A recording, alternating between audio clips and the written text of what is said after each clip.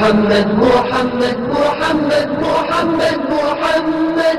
يا محمد يا محمد يا محمد يا محمد يا محمد يا محمد يا محمد.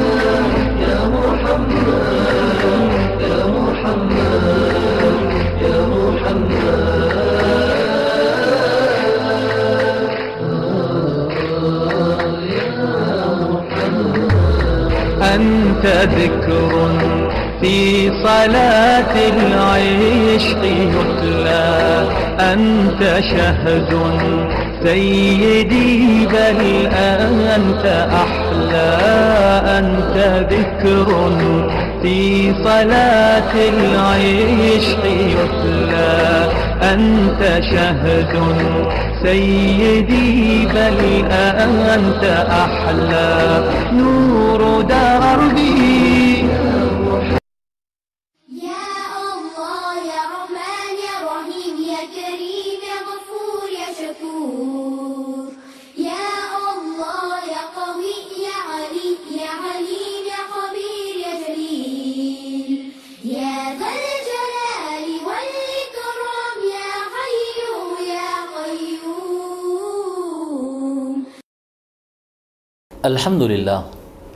الحمد لله رب العالمين والصلاة والسلام على سيد الأولين والآخرين سيدنا ونبينا مولانا محمد وعلى آله وأصحابه أجمعين أما بعد۔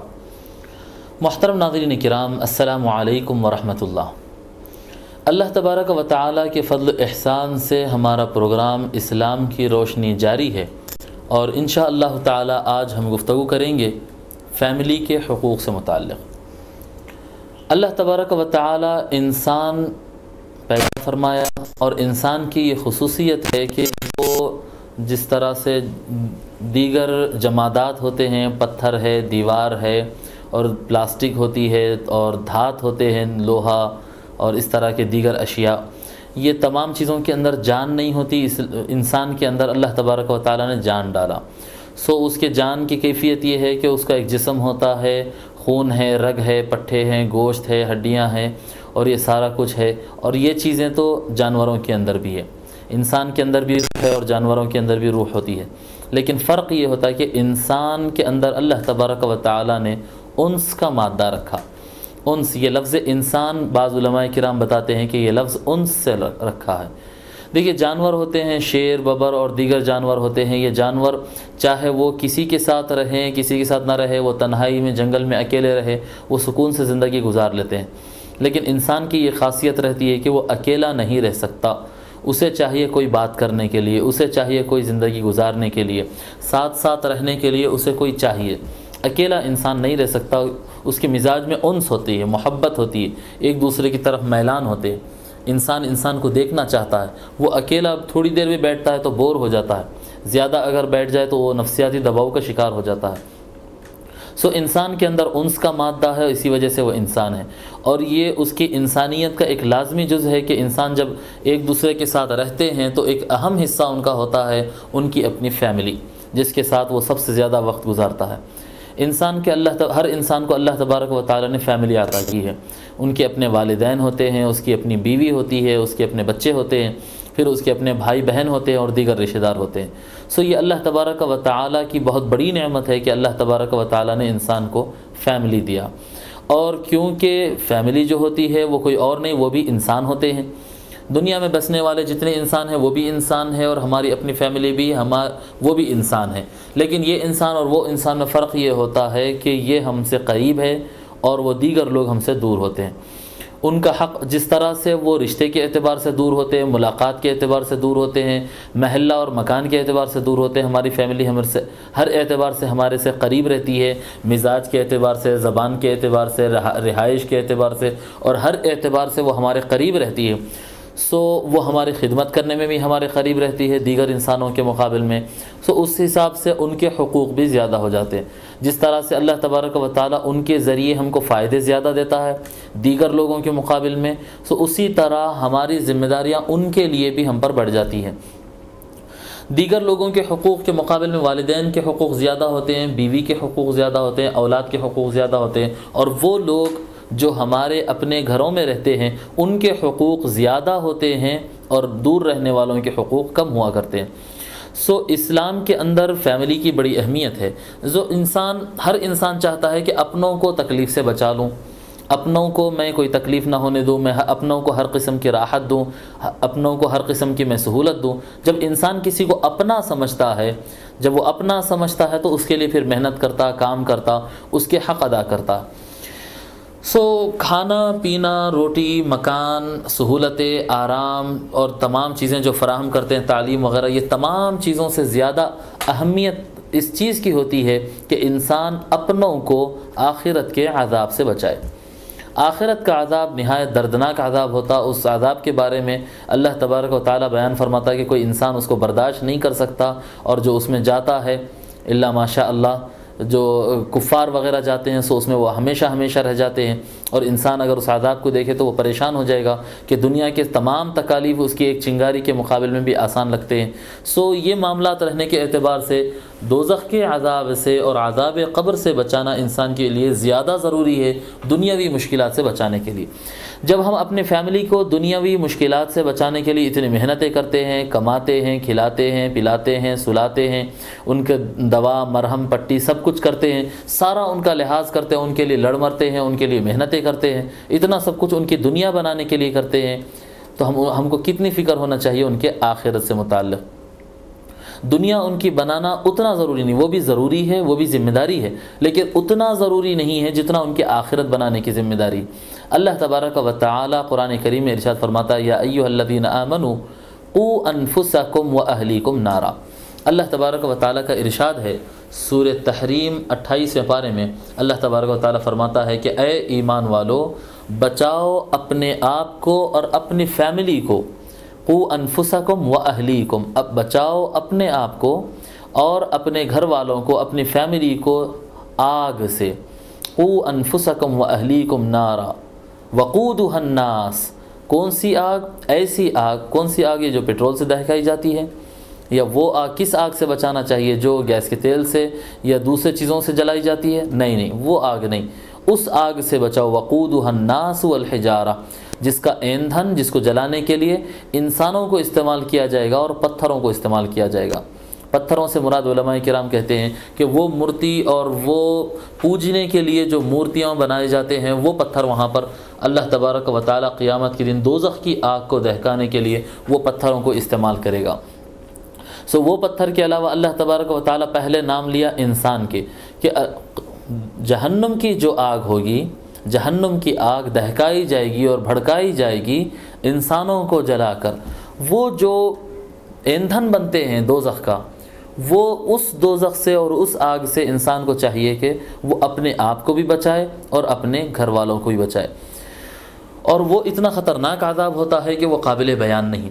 سو دنیا کی چھوٹی سی تکلیف، ایک پن اگر ہمارے چھوٹے بھائی کو، بچے کو اگر چھوٹا سا پن لگ جائے تو ہم تڑپ جاتے ہیں، بھاگ دوڑ کرتے ہیں، اس کی مرہم پٹی کا انتظام کرتے ہیں۔ لیکن ہمیں، ہم اس بات سے بڑی غفلت میں رہتے ہیں کہ کل قیامت کے روز پتہ نہیں کیا ہوگا، کتنے خطرناک عذاب ہوں گے۔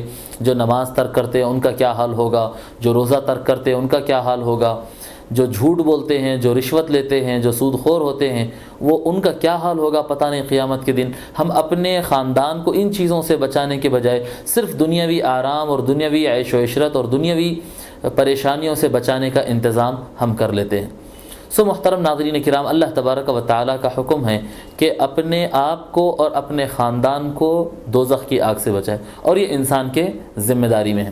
حضور اکرم صلی اللہ علیہ وسلم ارشاد فرماتے اللہ کلکم رائن و کلکم مسعول عن رعیتی ہے حضور صلی اللہ علیہ وسلم فرماتے ہیں کہ تم میں کا ہر کوئی ذمہ دار ہے اور اپنے ماتحت جو لوگ ہیں ان سے متعلق، اس کی ذمہ داری سے متعلق اس کو پوچھا جائے گا۔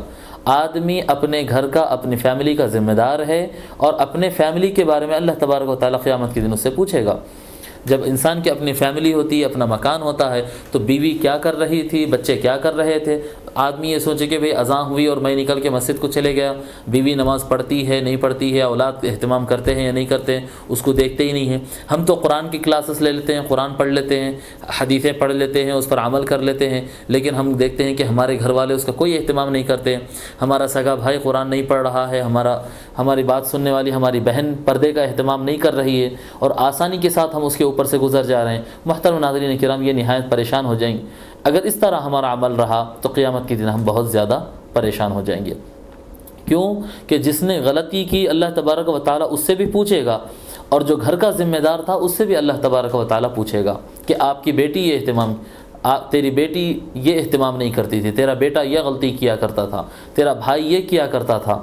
سو جو اپنی فیملی ہوتی ہے، ہمارے اپنی بیوی، بچے وغیرہ جو گھر میں رہنے والے، وہ کیا کرتے ہیں؟ اس کے ذمہ دار ہم بھی بنتے ہیں۔ جیسے کہ اگر کسی معاملے میں اگر پیسہ بے دریغ، الٹ پلٹ اگر ہمارے گھر والے اگر خرچ کر دیں، تو کیا ہم اس پر روک نہیں لگاتے؟ اگر وہ کوئی غلطی کر لے یا کسی سے لڑ لیں تو کیا ہم ان کو روک نہیں لگاتے؟ ہم وہاں پر تو پورا کنٹرول کرتے ہیں، لیکن مذہبی امور میں ہمارا کوئی کنٹرول ان پر نہیں رہتا۔ کنٹرول کرنا چاہیے اور ان کی اصلاح کرنا چاہیے۔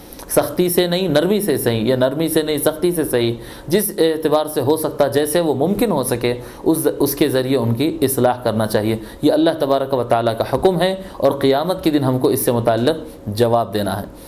اللہ تبارک و تعالیٰ قرآن کریم کے دوسرے مقام، قرآن کریم میں دوسرے مقام پر ارشاد فرماتا ہے وہ انضر عشیرت کل اقربین اللہ تبارک و تعالیٰ کا فرمان ہے، اور اپنے قریبی رشتہ داروں کو آگاہ کرو۔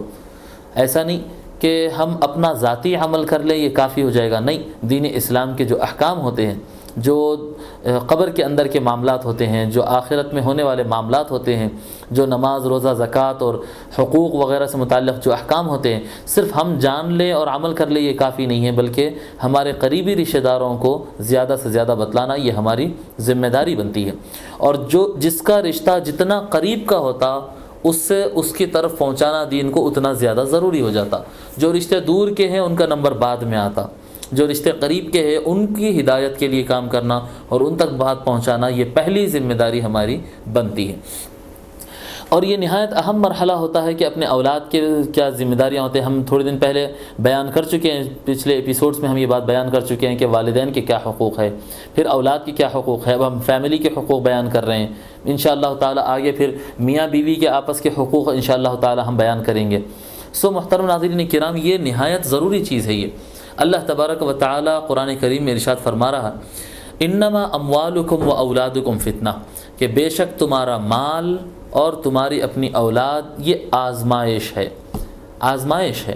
اللہ تبارک و تعالیٰ مال دے کر انسان کو آزماتا دیکھتا ہے کہ وہ کہاں خرچ کرنے والا ہے، کیسا خرچ کرے گا۔ اپنے تعیش میں خرچ کرے گا یا صرف اور صرف خزانہ اور تجوریاں بھر کے رکھے گا یا اپنے پیسے سے لوگوں کے کام کرے گا۔ وہ اللہ تبارک و تعالیٰ جانچے گا، اللہ تبارک و تعالیٰ دیکھے گا۔ پھر اللہ تبارک و تعالیٰ انسان کو اولاد دے گا اور اولاد دینے کے بعد دیکھے گا کہ ان کی تربیت کس ڈھنگ پر کریں۔ جی ان کو کیا سکھاتے ہیں ہم؟ آج دیکھیے معاشرے میں کیا ہو رہا۔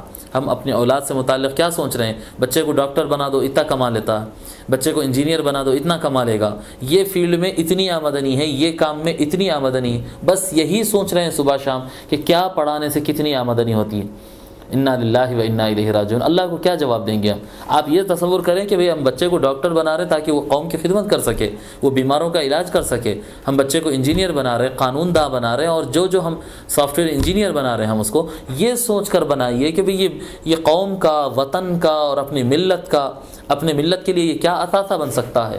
یہ ملت کی کیا خدمت کر سکتا ہے؟ کمائی تو ہو جائے گی، اللہ رزاق ہے۔ اللہ تبارک و تعالیٰ عطا کر دے گا۔ جب انسان کوئی نوکری کرتا ہے، کوئی مطب دیکھتا ہے، کوئی کام کرتا ہے، تو وہ اس کے لیے خالی نہیں جاتی چیز۔ وہ اس کی اپنی تنخواہ ہوتی، وہ آمدنی ہو جاتی۔ لیکن ٹارگٹ آمدنی نہیں ٹارگٹ قوم کی خدمت ہونا چاہیے۔ قوم کی خدمت کریں، اللہ تبارک و تعالیٰ ذرائع آمدنی کھول دیتا ہے۔ سو ثواب کا ثواب بھی ہو جاتا، آمدنی بھی ہو جاتی۔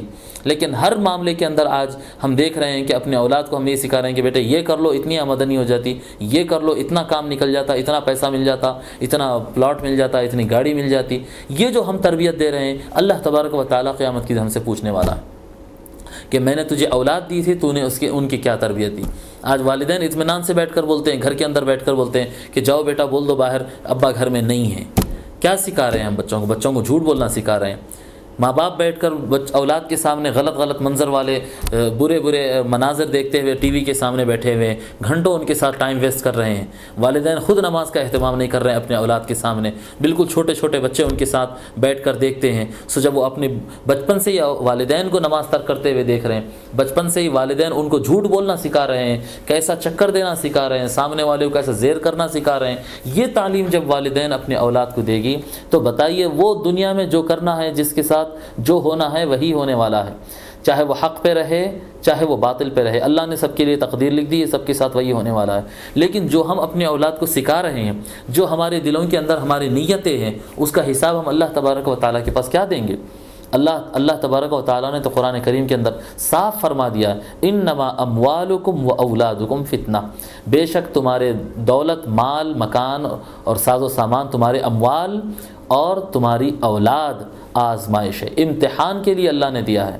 سو غور کریں کہ ہم اپنے فیملی کے کیا حقوق ادا کر رہے ہیں۔ یہی حق ادا کر رہے ہیں کہ ہم دنیا کے دنیا کے اندر ان کو سکون دے کر آخرت کے عذاب میں مبتلا کرنا چاہ رہے ہیں یا وہ راہ اختیار کرنا چاہ رہے ہیں کہ جو دنیا میں بھی سکون ان کو عطا کرے اور آخرت میں بھی ان کو سکون عطا کرے۔ اور وہ وہ سکون کی راہ صرف اور صرف صرف اور صرف قرآن اور حدیث کے اندر ہی مل سکتی ہے۔ اسلام کی روشنی کے ذریعے ہی وہ چیز اس کو، ان کو مل سکتی ہے اور وہ راہ ان کو مل سکتی ہے۔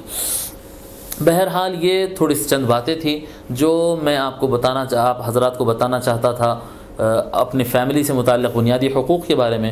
اب اس کے بعد ہم آگے بڑھتے ہیں اور دیکھتے ہیں کہ دنیا کے اندر ہمارے اپنے فیملی کے جو حقوق بنتے ہیں وہ ہمارے اوپر کیا لازم ہیں۔ حضرت عبداللہ ابن عمر رضی اللہ تعالی عنہما روایت فرماتے ہیں، قال رسول اللہ صلی اللہ علیہ وسلم، کہ رسول اللہ صلی اللہ علیہ وسلم نے ارشاد فرمایا، ان من اکبر الکبائر ان یلعن الرجل والدی حضور صلی اللہ علیہ وسلم فرماتے ہیں کہ بڑے گناہوں میں بڑا گناہ وہ ہے، یہ ہے کہ آدمی اپنے والدین پر لانت کرے۔ والدین کو برا برا بھلا کہے، گالی گلوچ کرے۔ بڑے گناہ، ایک تو چھوٹے گناہ ہوتے ہیں، صغائر ان کو کہتے ہیں، کبائر کہتے ہیں، بڑے گناہ۔ بڑے گناہ وہ ہوتے ہیں جن کا باضابطہ توبہ کرنا پڑتا ہے ان کے لیے۔ کوئی اچھے کام کر دینے سے ختم نہیں ہو جاتے وہ۔ ان کے لیے باضابطہ توبہ کرنا پڑتا ہے، اس کے لیے استغفار کرنا پڑتا ہے۔ اہتمام کرنا بہت بڑ بڑی چیز ہوتی ہے کبائر، اس کا نام ہی کبیرہ سے کبائر، بڑے گناہ۔ سو آقا صلی اللہ علیہ وسلم فرما رہے ہیں، بڑے گناہوں میں بھی بڑا گناہ ہے۔ بڑے گناہوں میں بھی بڑا گناہ ہے۔ کیا؟ یلعن الرجل والدئی کہ آدمی اپنے والدین کو گالی دے یا اپنے والدین پر لانت کرے، ان کو برا بھلا کہے۔ قیلا یا رسول اللہ و کیف یلعن الرجل والدئی کسی نے عرض کیا کہ یا رسول اللہ، آدمی اپنے والدین کو کیسے گالی دیتا ہے؟ اپنے والدین کو کوئی بھی گالی نہیں دیتا ہے، اپنے والدین پر کوئی بھی لانت نہیں بھیجتا ہے۔ ایسا تو کوئی بھی نہیں کرتا یا رسول اللہ۔ پھر ایسا کیسا ہو سکتا ہے؟ سو حضور صلی اللہ علیہ وسلم ارشاد فرمائے، یسب الرجل اب الرجل، فیسب اباہ و یسب امہ فیسب امہ۔ حضور صلی اللہ علیہ وسلم ارشاد فرماتے ہیں کہ آدمی اپنے والد کو گالی تو نہیں دیتا، آدمی دوسرے کے والد کو گالی دیتا تو وہ آدمی پلٹا کر اس کے والد کو گالی دے دیتا ہے۔ دیکھیے، آج معاشرے کے اندر ہمارے پاس خاص طور پر ہم دیکھتے ہیں شہر حیدرآباد کے باشندے اور شہر حیدرآباد کے ہم رہنے والے ہیں۔ ہم دیکھتے ہیں آج صبح شام بغیر گالی کے لوگ نہیں گزار رہے ہیں۔ جتنے تجارت لائن کے اندر ہے کنسٹرکشن لائن کے اندر ہے، محنت مزدوری کی لائن میں ہے، یا آٹو کے اور ٹرانسپورٹیشن کی دنیا کے اندر ہے، الغرض بیشتر لوگ، اکثریت کی بات بتا رہا ہوں میں۔ اکثریت کا معاملہ یہ ہے کہ گالی دینا ان کے لیے کوئی مشکل کام نہیں ہے۔ ایک آسان سی چیز ہے۔ ایک آسان سے کسی آدمی کو مسکرا کر دیکھنا تھوڑا مشکل ہو جائے گا، لیکن گالی دینا اتنا آسان ہو گیا۔ اتنا آسان کر لیے ہیں گالی دینا۔ یہ گالی دینے سے ہوگا کیا؟ جب آدمی کسی کو گالی دیتا ہے تو سامنے والا زور سے یا آہستہ سامنے یا پیچھے اس کو گالی دیتا۔ ہے جب یہ کہنے والا اس کے باپ کو گالی دیتا ہے تو وہ پلٹا کر اس کے باپ کو گالی دیتا۔ ہے میں اگر کسی کی ماں کو گالی دوں گا تو کوئی بھی مجھے میری ماں، میری والدہ کو گالی دے گا۔ سو یہ آدمی کا دوسرے دوسروں کے والدین کو گالی دینا گویا اس کا اپنے والدین کو گالی دینا ہے۔ اور یہ عمل کو حضور صلی اللہ علیہ وسلم بڑے گناہوں میں بھی بڑا گناہ فرمائے ہیں۔ یہ نہیں کہ ڈائریکٹ آدمی اپنے باپ باپ کو گالی دے تو بڑا گناہ ہوتا ہے وہ، نہیں۔ گالی دینا تو ہر صورت میں بڑا گناہ ہے، لیکن اگر آدمی دوسرے کے ماں باپ کو گالی دیتا ہے، جس کی وجہ سے سامنے والا بھی گالی دے دے، تو یہ اکبر القبا عراقہ صلی اللہ علیہ وسلم ارشاد فرماتے ہیں۔ آدمی اپنے ماں کو دوسرے کی ماں کو گالی دیتا ہے، تو وہ پلٹا کر اس کی ماں کو گالی دیتا ہے۔ وہ اس کے بھائی بہن کو گالی دیتا ہے، تو وہ سامنے والا بھی پلٹا کر اس کی بھائی بہن کو گالی دیتا ہے۔ یہ گالی کا سسٹم، یہ اکبر القبائر ہے والدین کے حقوق میں سے ہے۔ گھر والوں کے اور والدین کے حقوق میں سے ہے کہ اولاد اپنی کوئی ایسا کیریکٹر پیش نہ کرے، کوئی ایسی غلطی نہ کریں جس کی وجہ سے پلٹ کر بات ان کے اپنے والدین اور اس کے اپنے گھر کی طرف آ جائے۔ یہ فیملی کے حقوق ہے، یہ والدین کے حقوق میں سے۔ ہے آج کل نوجوان باہر نکل جاتے ہیں گھر سے تو بس وہ وہ تھوڑا سا جوانی کا جوش ہوتا ہے ویسے کون سی جوانی آج کے نوجوانوں کے اندر ہے؟ کوئی جسمانی طاقت وغیرہ نہیں، بس گاڑیاں دوڑانے کی جوانی رہ چکی ہے۔ محترم ناظرین کرام، غور کرنے کی بات ہے، تھوڑا سا خون گرم ہوتا ہے، تھوڑا سا جوش آ جاتا ہے، بس میں گھر چھوڑ کے نکل گیا، میں باہر لڑ لیا، میں باہر بتا دیا، میں چھچورا پن کر لیا اور میں اپنی مرضی کا مالک ہوں، کون مجھے روک سکتا ہے، کیا کر سکتا ہے؟ انسان کام بچے آج کل کے نوجوان اتنا تیزی کے ساتھ کام کر رہے ہیں، اتنے الٹ پلٹ کام کر رہے ہیں، جو سمجھ میں آ رہا کر رہے ہیں، برے سے برے حرکتوں کی طرف اور غلط سے غلط ترین کاموں میں، کاموں کے اندر ملوث ہو جا رہے ہیں۔ اور نتیجہ یہ نکل رہا ہے کہ بدنامگی سارے گھر کو پریشان کر کے رکھی ہوئی ہے۔ کوئی بھائی کے کیریکٹر کی وجہ سے بہن کو رشتے نہیں آ رہے ہیں۔ کوئی بیٹے کی غلط حرکتوں کی وجہ سے سارے محلے والوں کے سامنے باپ کو سر جھکانا پڑ رہا ہے۔ عورت ماں اس کے اپنے بیٹے پر فخر نہیں کر سکتی ہے، اپنے بیٹے کے عیوب کو چھپانے میں ہی اس کی زندگی گزر رہی ہے۔ یہ اولاد کیریکٹر پیش کر رہی ہے آج۔ محترم ناظرین کرام، ہمیں سمجھنا چاہیے، بالخصوص نوجوانوں کو یہ بات سمجھنا چاہیے کہ کردار ایسا پیش کرنا، ایسا پیش کرنا ہم پر لازم ہے یہ ہمارے اپنی بھلائی کے لیے ہی نہیں، بلکہ ہمارے اپنے والدین کے حق میں سے یہ حق ہے کہ ان ایسا کردار باہر نہ پیش کیا جائے کہ لوگ ان کی طرف انگلی اٹھا کر دیکھیں۔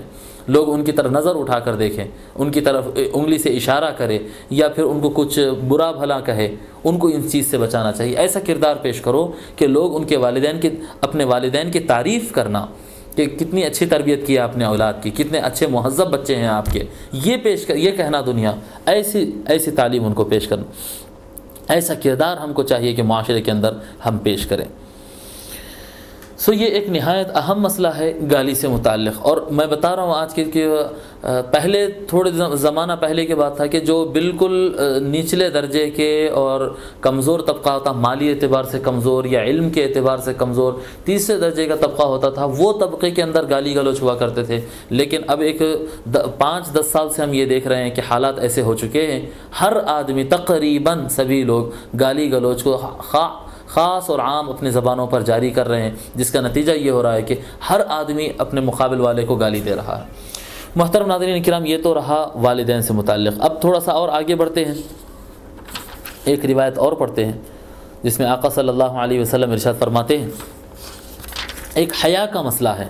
ایک نہایت اہم مسئلہ حیا سے متعلق ہے، جو ہمیں چاہیے کہ اپنے گھر والوں میں دیکھ دیکھیے ایمان، حیا کا تعلق ایمان سے ہے۔ حضور صلی اللہ علیہ وسلم ارشاد فرماتے ہیں، الحیاء من الایمان حیا ایمان کا حصہ ہے، ایمان سے ہے، ایمان میں سے ہے۔ اور آقا صلی اللہ علیہ وسلم جسے حکم فرماتے، وہ عمل نہیں کرتے، جس کو حضور صلی اللہ علیہ وسلم کی اطاعت جس کے اندر نہیں ہوتی اور کیا کہتے، احکام شریعت کی جس کو پرواہ نہیں ہوتی، غرض کہنا یہ کہ جس کا ایمان کمزور ہوتا ہے، ان سے متعلق حضور صلی اللہ علیہ وسلم ارشاد فرماتے علم تستحی ففعل ما شئت. اگر تجھے حیا نہیں آتی تو جو چاہا کر لے۔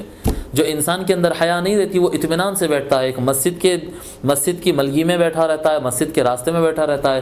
اذاں ہوتی، سارے لوگ اس کے سامنے مسجد میں داخل ہوتے، نماز پڑھتے اور سارے لوگ اس کے سامنے سے نکل جاتے اور آتے جاتے لوگوں سے سلام بھی کرتے، سب کو وہ دیکھتے رہتا ہے۔ اذاں بھی سنتا، نماز کا وقت بھی جانتا، لوگوں کو نماز کے لیے آتے جاتے بھی دیکھتا، لیکن سکون سے مسجد کے سامنے بیٹھا رہتا، نماز نہیں پڑھتا۔ وجہ کیا ہے؟ اور اس کو اس کی فکر بھی نہیں ہوتی۔